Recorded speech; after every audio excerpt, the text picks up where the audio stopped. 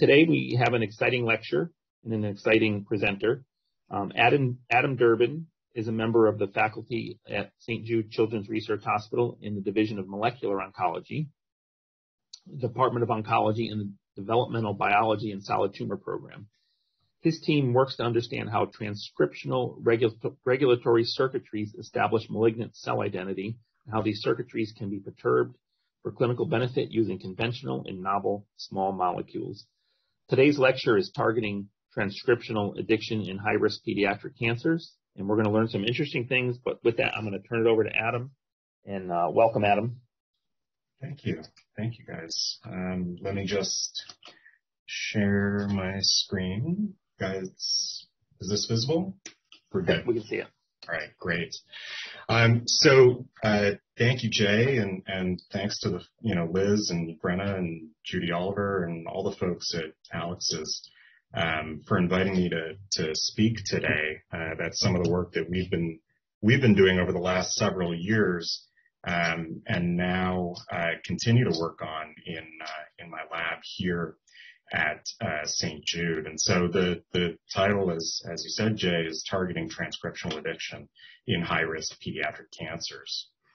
Um, I do not have, this, there we go. Um, I have no disclosures. And um, before I start, I just want to point out um, just how prevalent ALEX's lemonade stand is. Um, so this is a picture uh, uh, my wife and I took uh, when we were on vacation, and I don't know if you guys can see. Um, we're somewhere in the Caribbean, and uh, this is actually an ALEX's lemonade stand juicer um, that was uh, present at the at the bar. So um, whether whether you are a researcher, a, a clinician, or um, a person who is not involved with this or, or touched in some way uh, by uh, pediatric cancer, I think it's it's fair to say that the the reach of ALEX's lemonade stand is everywhere.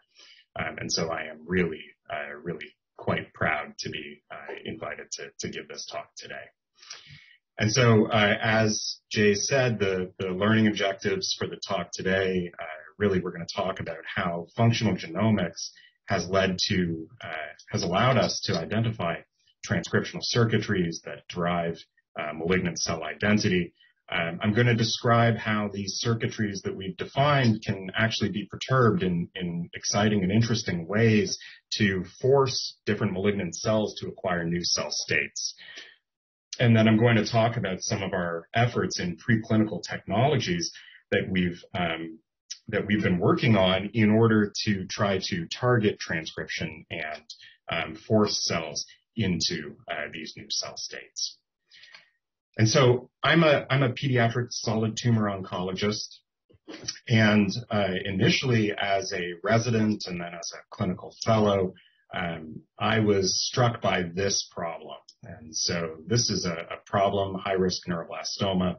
Um, and here you can see in this Kaplan-Meier survival curve, uh, the overall survival probability is a function of time. This is taken from a recent COG uh, publication. And what you can see are really two things. The first is that despite our best efforts, uh, children who are diagnosed with this with this tumor uh, still have somewhere around a, a 50 to 60 percent overall survival. And the second thing um, that you can take from this is that treatment ends usually around 18 months to 24 months, and children are continuing um, to die of this disease uh, beyond that. So this is a clinical problem that um, we that was quite striking to me and uh, led me to uh, think more about. And so, in combination with folks at the Broad Institute and at Dana Farber, uh, we used uh, a new resource called DepMap um, in order to try to define new therapeutic targets for this disease, to derive both more on-target therapies as well as uh, therapies that potentially um, could have reduced toxicity. We've used these new targets to define transcriptional models, and, I'm showing you uh, one here that we published in 2018. Um, and this has actually uh, formed the basis for a lot of our work going forward. And what I'll describe today is how we've harnessed these transcriptional models to understand how they can be perturbed to control cell state um, using different agents. I'm showing you here an agent, uh, cisretinoic acid, which is clinically used in this disease, and indeed also how we can use um, these circuitries in, in interesting new ways to develop new chemicals, um, including one called JCLOD, which I'll describe, uh, which has uh, in preclinical models some uh, very exciting new effects. And so just to start this talk, really what I'm going to start talking about is the scope of this problem in pediatric oncology and how we can use pediatric cancer functional genomics. So this is a figure um, taken from the SEER program at the National Cancer Institute. Here what you're seeing is a distribution of pediatric cancer uh, in children aged under 15 years. And so what you can see is that um, there's a relatively even split uh, between children diagnosed with leukemias and uh, solid tumors. So solid tumors make up a pretty significant chunk of all of the cancers that we diagnose. And once again, here's that overall survival curve of children diagnosed with high-risk neuroblastoma. This is a particularly common solid tumor that we see, and despite our best efforts, children uh, diagnosed with this disease really continue to display um, insufficient cure. And so this really tells us um, that we need to derive new therapeutic uh, modalities. Now, this what what you don't get from this curve is what the actual realities of treatment are, and so I think it's important to highlight that children who are diagnosed with neuroblastoma will receive therapy that looks something like this. And so here uh, you can see kids will get somewhere between five and six cycles of multi-agent chemotherapy. They'll have surgery. They'll have radiation. They'll have two uh, courses of high dose chemotherapy that is uh, myeloablative, and then they will then go on to have autologous stem cell rescue, and then follow that with somewhere between six and seven months or so of immunotherapy and retinoic acid. And at the end of all of this therapy, they have a, about a 60% chance of, of survival. And so with all of this therapy uh, comes a number of uh, downstream consequences, including toxicity. And so um, many children who are diagnosed with high-risk neuroblastoma will have long-term late effects from all of this therapy, including cardiac damage, a risk of secondary cancers, infertility, problems with growth, and hearing loss, amongst many other uh, late effects. And so the problem isn't just that our treatments are insufficient. The problem is, in addition to this, that our treatments are extremely toxic.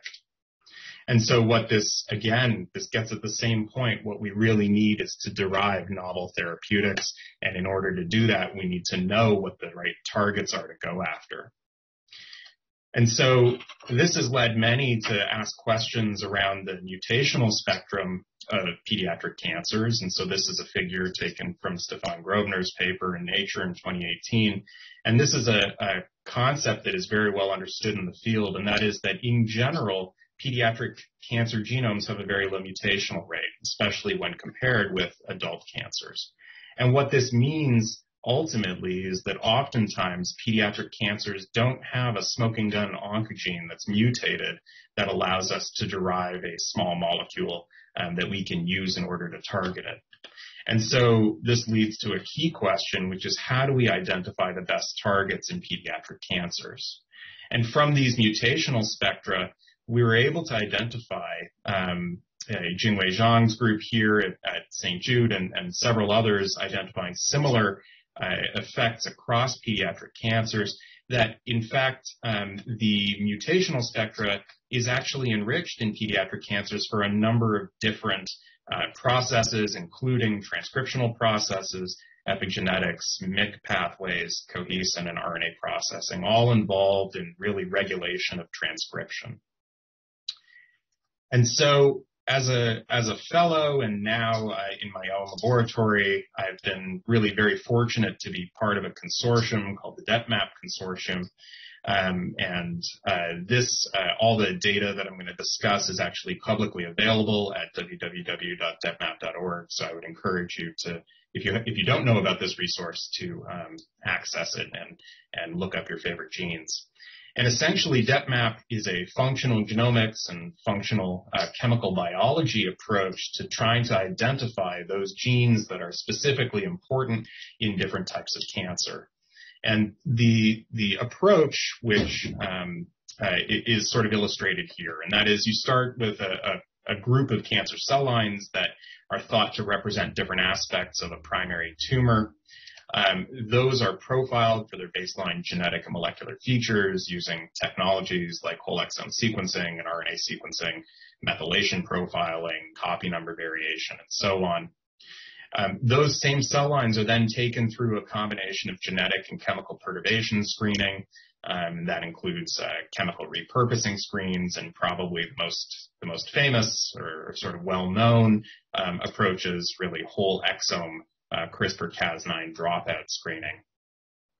And this data, this enormous amount of data is then fused through a, a advanced computational analysis. And the idea here is to try to derive a therapeutic hypothesis, identify some gene that results in, in um, a, that is in some way required in, in a specific cancer. And so this is a, a schematic of a um, exome-wide CRISPR-Cas9 dropout screen here uh, individual cancer cell lines are infected with uh, lentiviruses expressing uh, guide RNAs against a target um, of choice, and in, in this case, the guide RNAs target essentially every gene in the in the exome, with some exceptions. Um, these cells are pooled, they're grown for several weeks, and then uh, DNA is extracted. And if the guide RNA targets a gene that's required for cell viability, um, those cells will die. Those guide RNAs will not be found at the end when you sequence them, and so it's a dropout screen. And uh, recently, uh, we, along with um, really led by Nikesh Daria and uh, Paquita Vasquez and Kim Stegmeyer at the Broad and, and uh, Dana Farber, um, uh, published the first map of these genes, um, which are uh, required within different solid tumor uh, cancer cell lines. And so here, um, close to uh, a little over 80 cancer cell lines, um, where we now have uh, whole exome CRISPR-Cas9 data, again, entirely publicly available.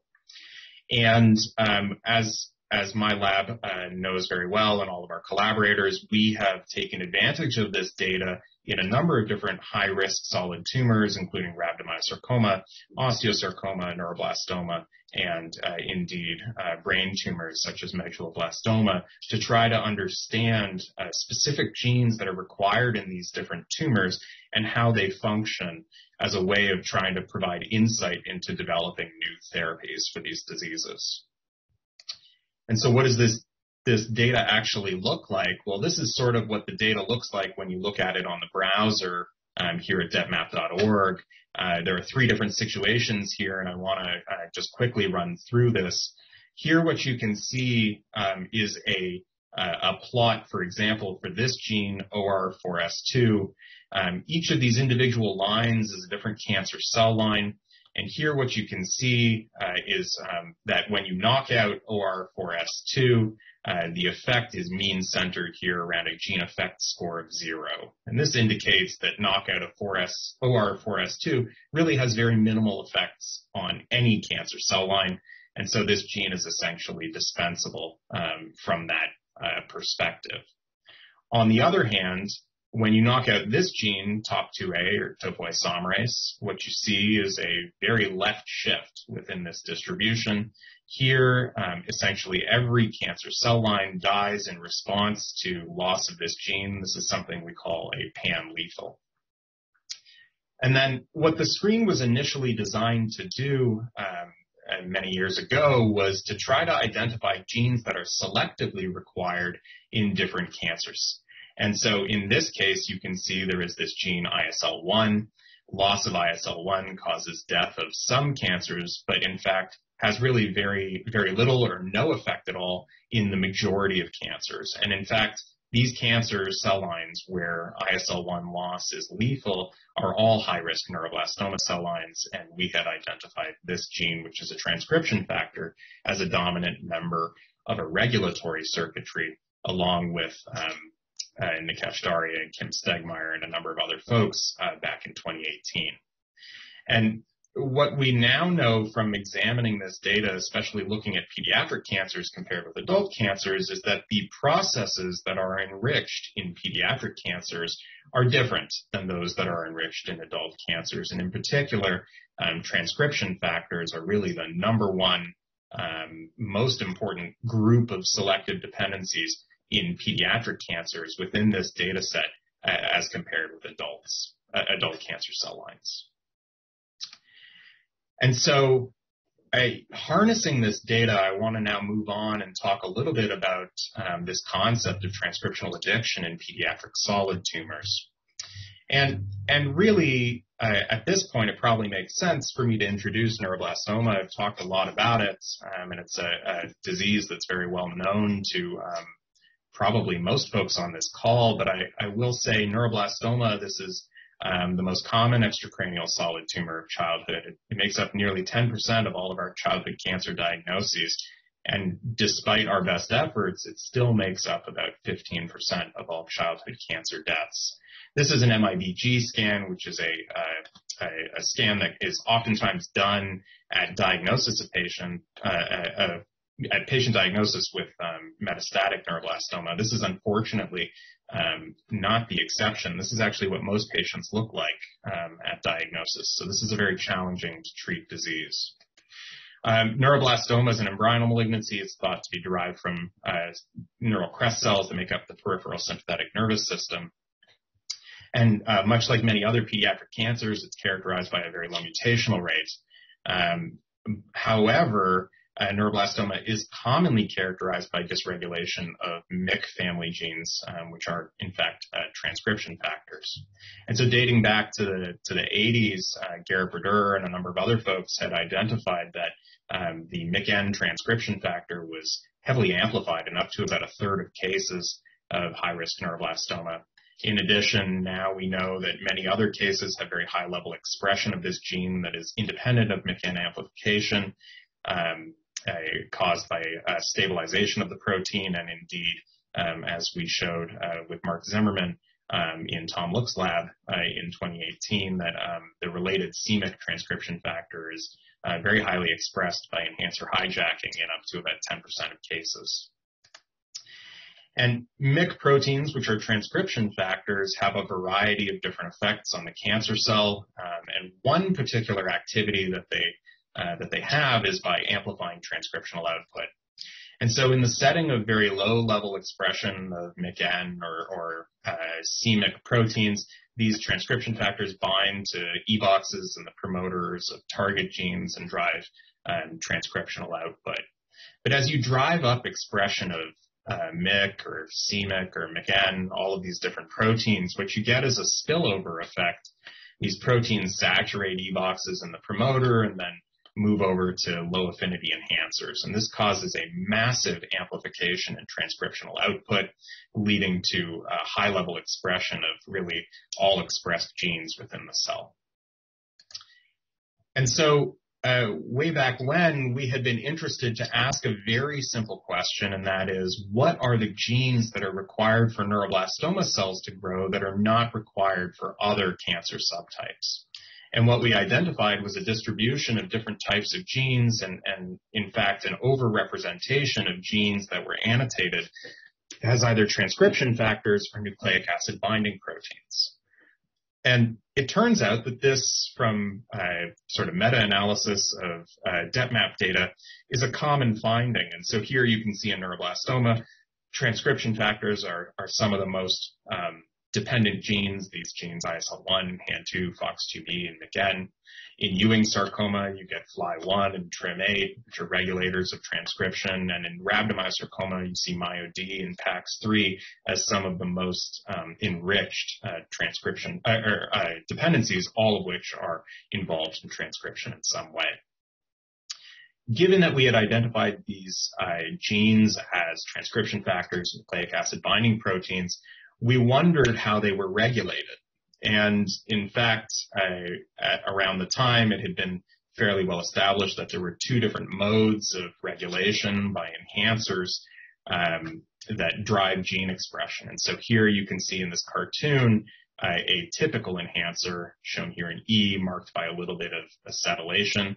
This recruits uh, transcription factors in the RNA polymerase complex and drives low level expression of housekeeping genes. This is sort of a, a classic mode of uh, regulation for uh, typical enhancer regulated genes. And we can, we can actually see this by performing ChIP-seq to this enhancer mark, this acetylation mark here at the RAD23B locus in high risk neuroblastoma. And so you can see here this promoter peak really right at the, at the start of the gene and then upstream this very small regular enhancer.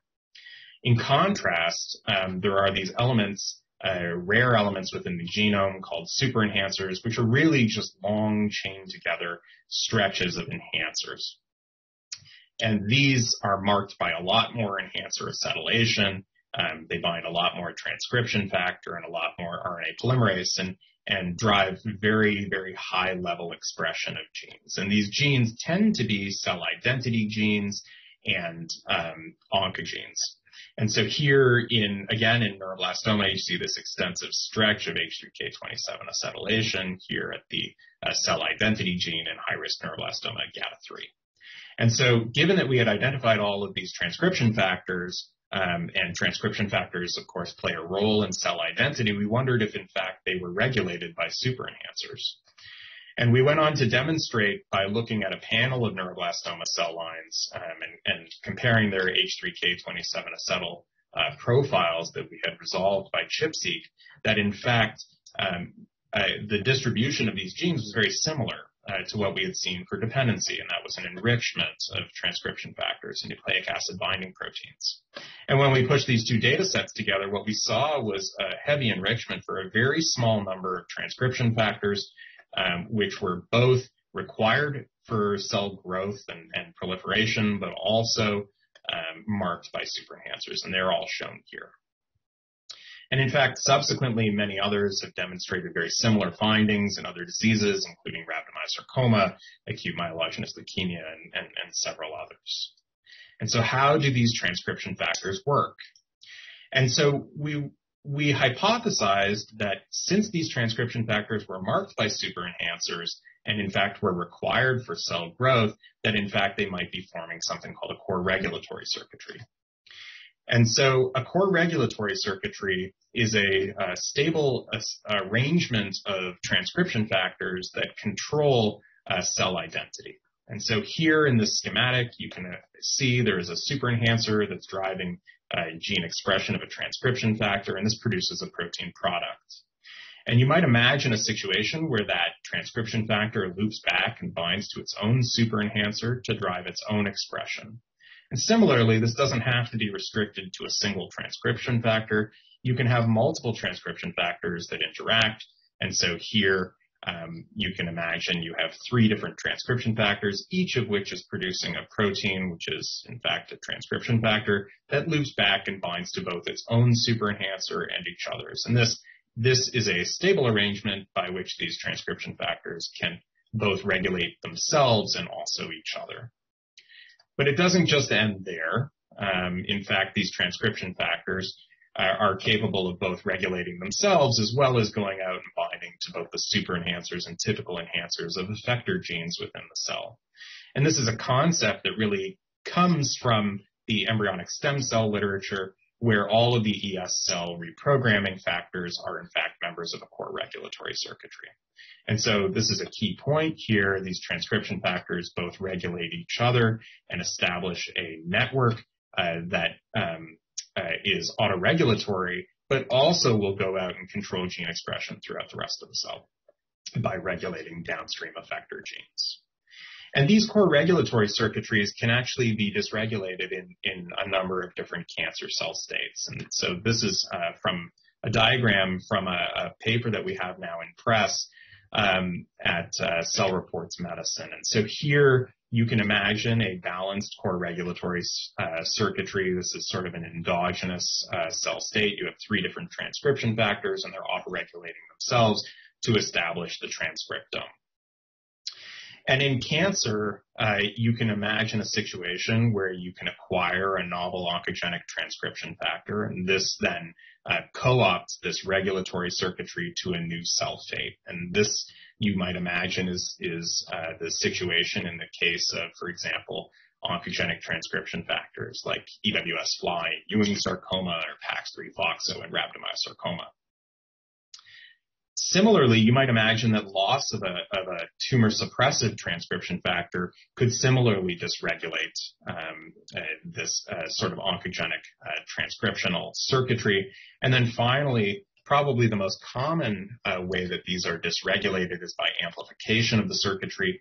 Um, and this is commonly uh, done by MYC proteins, which invade these super enhancers and drive very high level expression um, of these uh, transcriptional uh, proteins. And this is, in fact, what we see in multiple different types of cancer, including rhabdomyosarcoma, neuroblastoma, and medulloblastoma, amongst others. And it really leads to this key question, is there, in fact, a therapeutic window? And so we had identified a, a collection of, of proteins um, that were selectively required in neuroblastoma cells and weren't required in very many other different types of cancer. And when we took these uh, genes and we put them into a uh, an interaction plotter called the string database, what we found was that they were highly interconnected.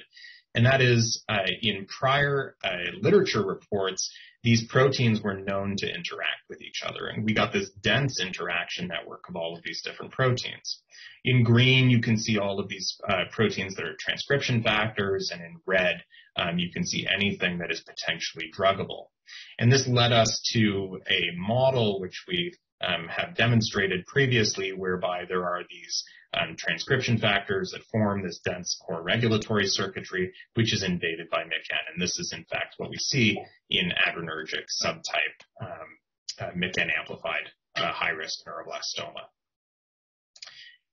And so over the last several years, this has really been public enemy number one. We've been interested to try and figure out ways to target this um, core regulatory circuitry, knowing that essentially it's a house of cards. If you target any one member of this regulatory circuitry, the entire thing will collapse, and in fact, um, neuroblastoma will be committed uh, to apoptotic cell death. And we have targeted this using a number of different approaches, um, which I'm going to describe today. And what we know is that, in fact, it's exceptionally difficult uh, to target transcription factors directly um, due to uh, unstructured domains um, and oftentimes a lack of binding pockets. And so this has led um, several uh, different groups to hypothesize that, in fact, uh, a good way of going about this might be to target um, epigenetic proteins that regulate uh, transcription and that is the histone readers, uh, writers, erasers, and chromatin remodeling proteins. And there are a number of ways of doing this, including uh, classical inhibitors, as well as the sort of more recently described PROTACs or proteolysis targeted chimeras, which I'll describe um, later in the talk. And indeed, um, this has led some to to hypothesize that PROTACs really are are the panacea for um, for drug discovery, now being able to take out this uh, dragon, the undruggable target, uh, directly to the trash. But I will point out that in fact, uh, we do not limit ourselves to PROTACs. We're interested in peptidomimetics, inhibitors, molecular glues, peptides, and many other different agents um, for targeting uh, these different proteins. And so next, I'd like to talk a little bit about some of our efforts um, to think about clinical compounds and how they control and rewire these transcriptional processes. And in fact, I think of these as as uh, sort of smart bombs, uh, targeted missiles that that go after specific aspects of these um, wiring. Since since the mid 80s, uh, it's been pretty well known that um, compounds like retinoic acid are capable of driving differentiation of high risk neuroblastoma. So this is a an image taken from Carol Teal and Pat Reynolds and Mark Israel's paper in Nature in 1985. And here you can see SMS KCNR, which is a, a high-risk neuroblastoma cell line. And in the presence of retinoic acid, you get production of these um, neurites, which is which is quite indicative of cellular differentiation. And in fact, this is not just a cell culture trick uh, patients who have high risk neuroblastoma actually receive retinoic acid, and, and this has made an enormous improvement in their overall survival. And so here from Kate Mathey's uh, New England Journal uh, paper in 1999 reporting the, the very first trial um, in which patients uh, were treated both with retinoic acid as well as um, with uh, autotransplantation, and this led to a nearly 40% increase in event-free survival of patients. So this is a this is a clinically actionable um, and important uh, compound in the management of high-risk neuroblastoma, and and yet we didn't really understand how it was that retinoic acid was capable of deriving um, these effects. And so, uh, in collaboration, um, in a project really led by Mark Zimmerman and Tom Look's lab, um, we went on to demonstrate that uh, what retinoic acid does uh, is really cause epigenetic silencing of some core regulatory circuitry loci.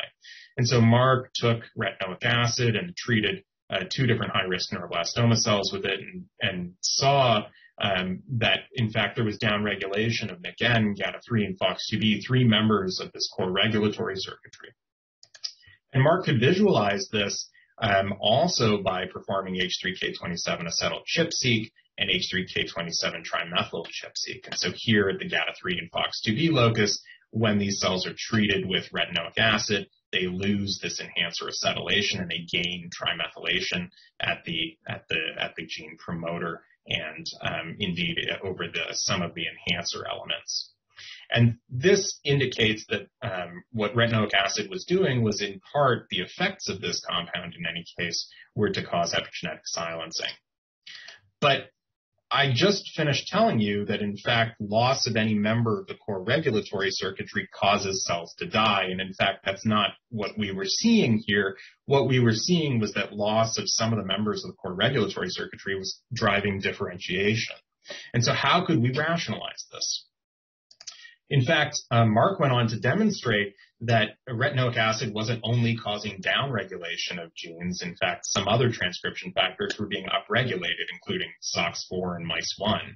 And this was in, in fact also associated with a gain of enhancer acetylation here in DE2C and NGP cells. You can see this gain of a new enhancer acetylation um, at, for example, here the SOX4 locus.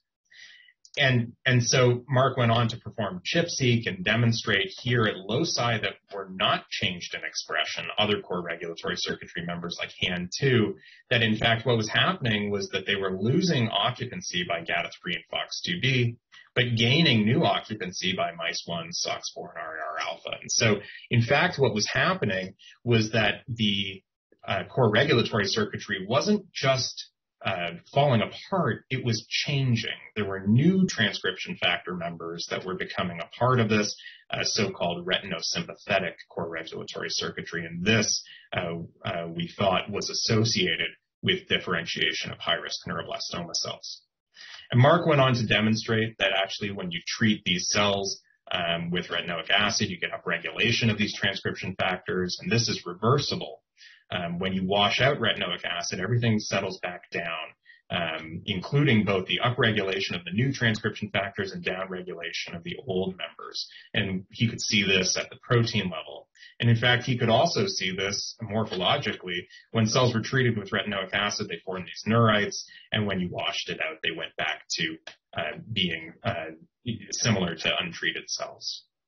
And so uh, finally, we wondered was in fact the upregulation of these genes required for this new cell state? And so Mark generated DE2C cells with stable knockout of SOX4 and then looked to see what happened when he treated these with retinoic acid. And in fact, what he saw was a failure of these cells to drive up expression of other members uh, of the core reg- of this new retinosympathetic core regulatory circuitry, such as MICE1 and uh, terminal differentiation markers like fibronectin. And so here, essentially, the message that retinoic acid causes this change um, in core regulatory circuitry members, leading to a new cell fate.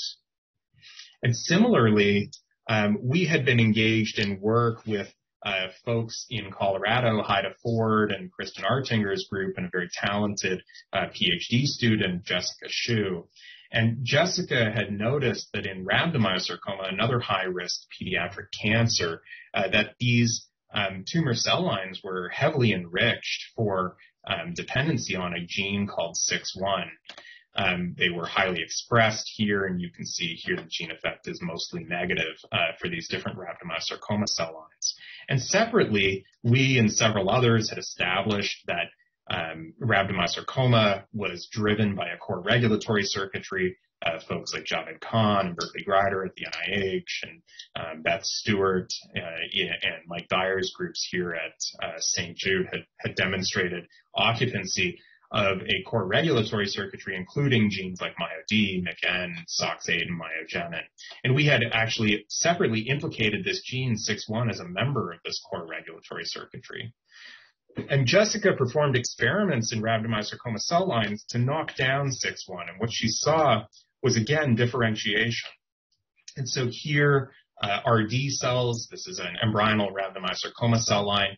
Um, here you can see in the resting state, uh, they really don't express any myosin heavy chain, but in the absence of 6-1 proteins, all of a sudden these cells start to differentiate.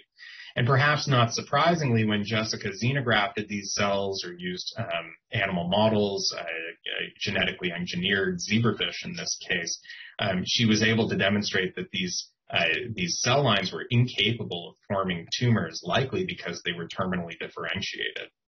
And so together with Jessica, we wondered why was it, in fact, that these cells were incapable of, of forming tumors and what was controlling their differentiation. And Jessica went on to demonstrate by cut and run qPCR along with um, ChIP-seq that in these cells, uh, when you knock down 6-1, other members of this core regulatory circuitry change their occupancy. And so here in RD cells, when you knock down 6-1, you lose the presence of MyoD at a number of different stem and oncogenic loci, and instead now you gain it at um, the promoters of genes that are really driving cellular differentiation. And it led led to this model whereby rhabdomyosarcoma is at least in part locked in a an oncogenic state because of the presence of 6-1 restraining MyoD at oncogenic loci, and in the absence of 6-1, MyoD relocalizes um, to drive differentiation. And so what's the message? The message here is really that rewiring or reprogramming core regulatory circuitries is really capable of producing novel phenotypes. And we can do this either chemically, for example, with retinoic acid and neuroblastoma, or genetically, as we've done in multiple different situations. And this leads to this concept that acquisition of new transcription factor members or loss of old ones leads to new phenotypes. And we're very interested to understand how this can be harnessed for therapeutic benefit, knowing that this is more now than just expression of a target, but rather the activity of that transcription factor, its uh, localization across chromatin, and in fact, who its partners are. And so I, it, what I'd like to do now is move on and talk a little bit about some of the uh, more novel chemical biologic techniques that we've used in order to drug transcription. And, and indeed, uh, in contrast with the sort of smart bomb laser focused approach, really we have been hard at work building uh, really very targeted um, well, less targeted nuclear weapons that are, are really designed to drug transcription. And this came out of an initial study where we had thought, is it possible to target the core regulatory circuitry by targeting transcription? And so we had noted that in fact all of these core regulatory circuitry transcription factors were driven by super enhancers and were in fact themselves transcriptionally regulated. And super enhancers are bound by large amounts of bromodomain containing proteins like BRD4, which recruit the transcriptional complex. And these can be inhibited by small molecules like JQ1. And in fact, folks like John Maris and Kim Stegmeyer had demonstrated that this compound was uh, effective in suppressing the growth of high risk neuroblastoma cells. Indeed, uh, transcriptional in- initiation and elongation is similarly driven by the activity of transcriptional CDKs like CDK7, which phosphorylates the C-terminal tail of RNA polymerase. And folks like Ronnie George had also demonstrated that use of THC1, a small molecule CDK7, 12, and 13 inhibitor, is capable of suppressing this um, this function, again, in, in high-risk neuroblastoma. And so we had wondered what actually would happen if you put the two of these compounds, each individually with some effect in, in high-risk neuroblastoma. What would happen if we put the two of these compounds together? And what we got was this. And so here uh, by spike and microarray, we had demonstrated that combinations of JQ1 and THC1 after an hour really had very few effects on on the transcriptome of the cell after four hours had many more effects and really caused global transcriptional collapse after 12 hours of treatment. And when we looked at what the identity of these genes were that were being downregulated, what we found was that after an hour, the genes that were going down the most were all the, the genes of the core regulatory circuitry. And so first, we were losing the core regulatory circuitry, and, and as we went on to demonstrate next, we were losing essentially most of the genes that were regulated directly by the core regulatory circuitry before eventually uh, we had general transcriptional collapse. And putting these two compounds together in vitro uh, led to very potent synergy, and we were killing these neuroblastoma cell lines.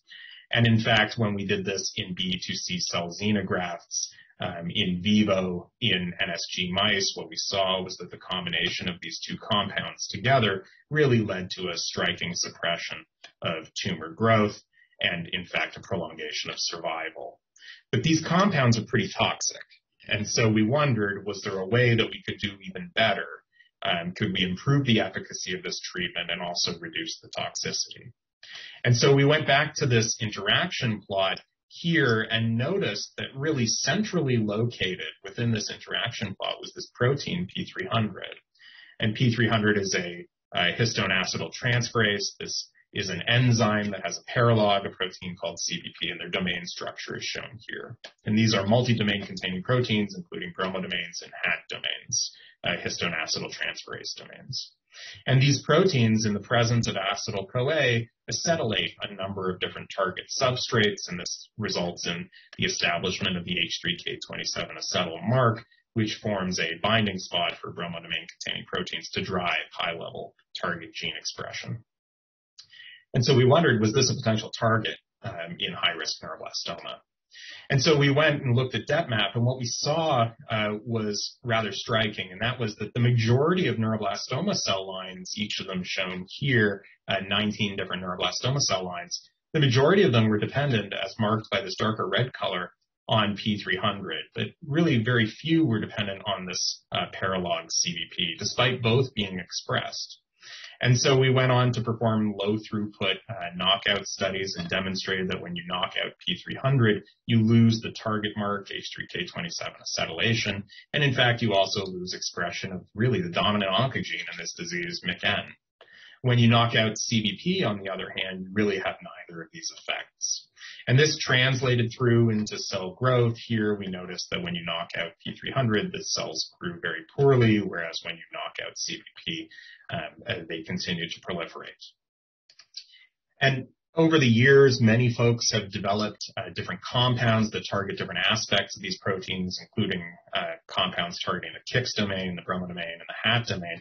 And we took a number of these compounds and treated neuroblastoma cells with them and demonstrated that by far the most effective compound was this histone acetyltransferase domain inhibitor called A485. And so we were left with this question, well, why, if P300 and CBP are both expressed, why do they play such distinct roles in neuroblastoma? Is it that one of them is mutated? And so we turned to publicly available databases and demonstrated, in fact, while P300 and CBP are, are, um, uh, they're almost never uh, mutated in these diseases. It's exceedingly rare. And so we didn't think that was what was going on we knew that in fact uh, there weren't strong expression differences between these proteins, and so we wondered were they binding to and regulating different targets. And in fact, we think that that's what's going on. And so we performed ChIP-seq to P300 and CBP and demonstrated that by and large, these proteins bound at similar loci across the, the um, epigenome, and this uh, correlated with H3K27 acetyl and open chromatin, and in fact, all of the master transcription factors of the core regulatory circuitry. But when we zoomed in specifically on the core regulatory circuitry, what we saw was really striking, and that was that P300 was there, shown in, in red, you can see it has similar binding as all of these core regulatory circuitry members, but really CBP was not. And so P300 and CBP both have uh, no sequence specificity to their DNA binding. We wondered um, how, in fact, P300 was getting to DNA. And usually this requires uh, the binding of these different proteins uh, to transcription factors. And so we took the top P300 peaks and the top CBP peaks in combination with Luca Mariani and Martha Bulick's lab and demonstrated actually that these were heavily enriched under P300 uh, peaks for a gene called, uh, or for a, um, a, consensus sequence for the transcription factor TFAP2 beta. And when we performed ChIP-seq to TFAP2 beta, it looked exactly like a core regulatory circuitry member. It was binding along with all of the other master transcription factors. And so this led us to this hypothesis that this was actually the escort for P300 to DNA. And so we went on to ask if that was the case. In fact, we suspected that TFAP2 beta would bind to P300. And in fact, in co-IP assays, we demonstrated exactly that. And that was that AP2 beta yeah, uh, bound to P300, but in fact did not bind to CBP. And this then led to the hypothesis that if you knocked out AP2 beta, um, this should lead to a failure to recruit P300 to DNA and therefore loss of H3K27 acetyl. And we went on to perform a number of different experiments uh, showing here when you knock out AP2 beta, that's exactly what you see. You see loss of H3K27 acetyl. This is a, a phenotype that you do not see when you knock out other core regulatory circuitry members. But what we were left with was this idea that what we really wanted to do was to target P300 um, and leave CBP alone. And so here in neuroblastoma, you see P300 binding um, to enhancers and promoters. In normal cells, you have both of these proteins, and we had hypothesized that there, if there was some way that we could target only P300, this would lead to death due to loss of target gene expression in neuroblastoma, um, and that in normal cells, perhaps we could get some compensation by CBP continuing to function in this role. And so, uh, together with Jun Chi uh, at Dana-Farber, um, we uh, developed a, a, small molecule uh, that is a form called a PROTAC, uh, or proteolysis targeted chimera. In this model, you have a small molecule that on one side binds to your target of interest, for us, this protein P300, and on the other side binds to an E3 ligase complex, including the protein here, cereblon. And this leads to uh, polyubiquitination of your target through the E2 component of this E3 ligase complex, recruitment to the proteasome and proteasomal degradation. And so here you can see the structure of the molecule that we built, our lead molecule. Here's the bait molecule, A485, um, and we uh, hooked this up to a linker and a small molecule um, IMID that uh, binds to the protein cereblon. And we used this compound initially in pull down assays and demonstrated sort of surprisingly that this compound was capable of physically interacting with P300 proteins, but not with CBP. And this was surprising to us because, in fact, this uh, parent molecule, uh, A485, interacts equivalently with both P300 and CBP. And so we went on to perform proteomics to try to identify whether this was in fact true and demonstrated that after 24 hours of treatment here by SciLac labeled nuclear proteomics, that the only significantly downregulated protein was in fact this protein P300 and CBP was really unaffected. And we could see this by Western blotting here over time. After 24 hours, you start to see a weakening of P300 signal, and this is concurrent with activation of cell death as marked by cleaved PARP. We went on to uh, thinking about this um, schema. We went on to, to demonstrate that if you knock out the protein cereblon, that in fact, uh, which we did in, in Kelly cells, um, that this actually uh, results in the generation of an inactive molecule. And so here, um, cereblon is absolutely required uh, for the activity of our protein, uh, of our PROTAC uh, JQuad1.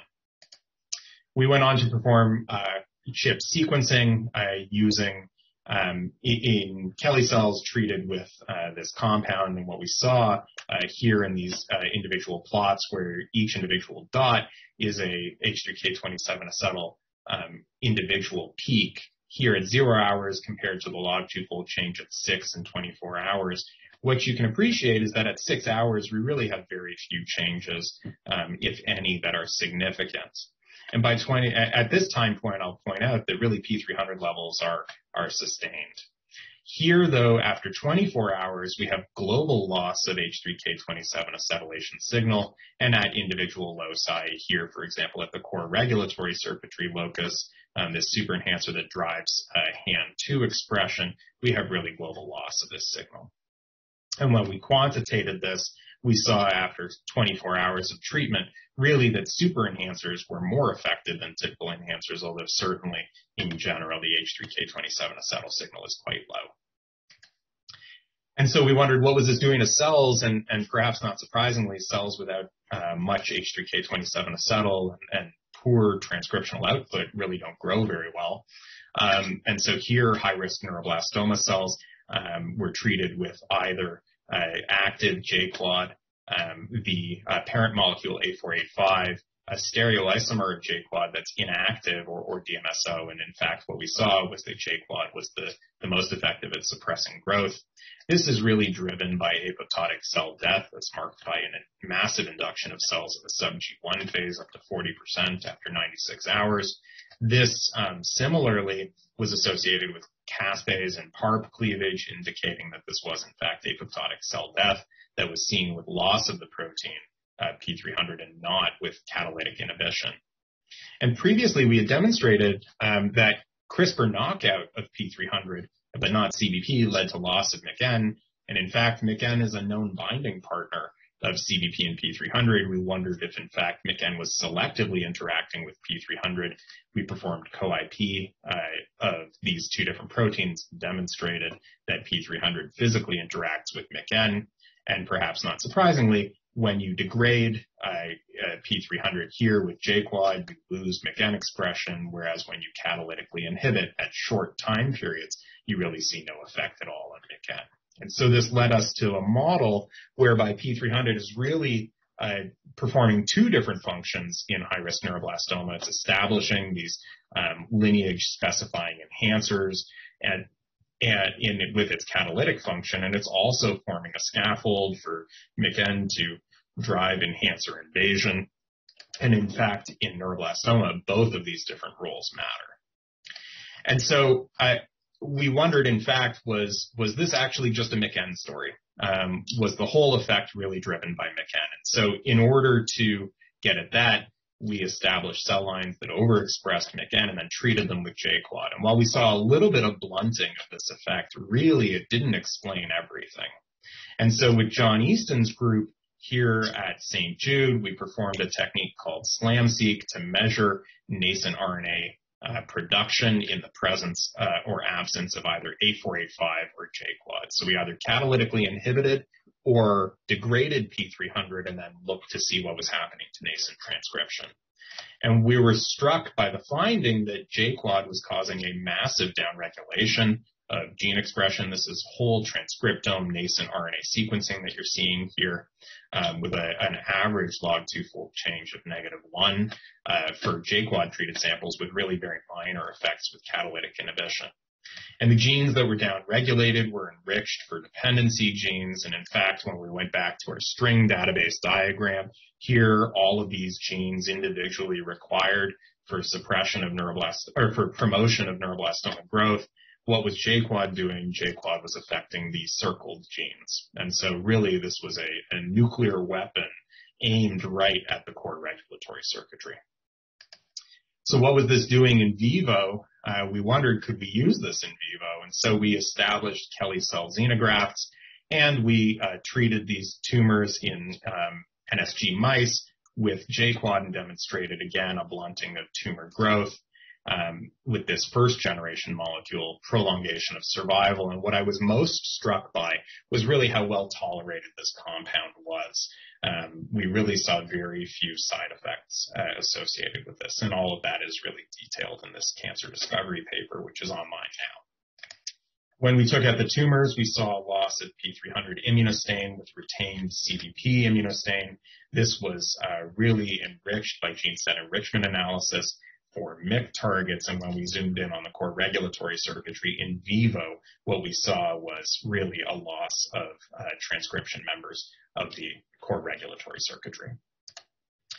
And so uh, with that, I'm gonna I'm gonna uh, just summarize and say really the messages from today is is that um, lineage specific transcription factors are really these key targets in pediatric solid tumors and um, that they function to form these core regulatory circuitries that establish the transcriptional landscape and become dysregulated in cancer in a multitude of different ways.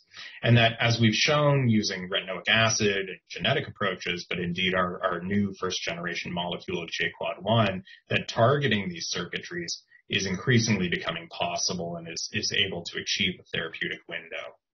And so this is that same schema um, outlining uh, sort of where we were starting with this clinical problem of high risk neuroblastoma and using this to derive new therapeutic targets that ultimately has resulted in in really a deepening understanding of cell state manipulation and chemical targeting. And moving forward, we're interested at, at developing ways to better target, to combine with conventional agents, and to understand how cell state impacts upon chemoresistance. And so uh, with that, I'm going to uh, essentially stop and acknowledge everybody in my lab, um, our collaborators, notably Jun Chi, uh, Brian Abraham, uh, Mark Zimmerman, Nikesh Daria, folks uh, such as Tom Look, Kim Stegmeyer, and Rick Young, a number of folks uh, externally who this really has been a, a team effort, and it really does take a village um, including uh, folks like Haida Ford and Kristen Artinger, who we worked on uh, rhabdomyosarcoma with, and a number of folks internal to St. Jude. Of course, all of our funding sources. Of course, Alex's Lemonade Stand for um, inviting me to speak today. And I'll just finish with one quick plug and say if if you heard something here today that you liked and you're interested, please do send me an email. My email address is here. Um, this is our lab Twitter account, and and in fact, um, here you can see our lab website. Um, we uh, this is my lab here with um, a number of different uh, postdocs, uh, senior scientists, and, and, graduate students, and um, hopefully uh, just to uh, end the talk, I, would like to say hopefully you liked what you heard here today, and, we're pretty excited about it. Um, and hopefully you didn't think it was a lemon. Um, and so uh, with that, I will uh, stop. Wow. I, li- I like the lecture and I like I like ending with a joke. That was great.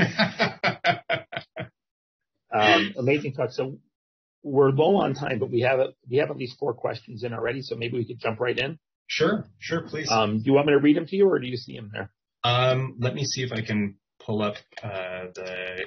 Here we go. Um, yes, I can. I can see them. So uh, it looks like the first one um, says uh, from Charalampos Lazarus. Uh, it says, "Thank you, Adam. Nice talk. I'm wondering to what extent the dependency on core regulatory circuitry members that you see in cell lines still holds in the case of preclinical models such as mice. If this is indeed the case, are there any side effects since these factors are frequently important for lineage specification and cell state?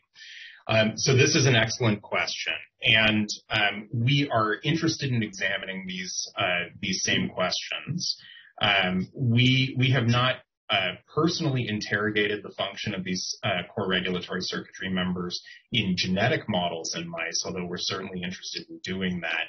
And you're absolutely right, these are important for lineage specification and cell state.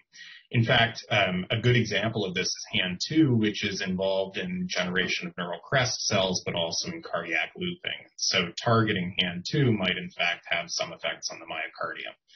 And so we are we are uh, thoughtful about these these sort of approaches and trying to limit um, toxicity, but uh, certainly um, I think more to come uh, about that.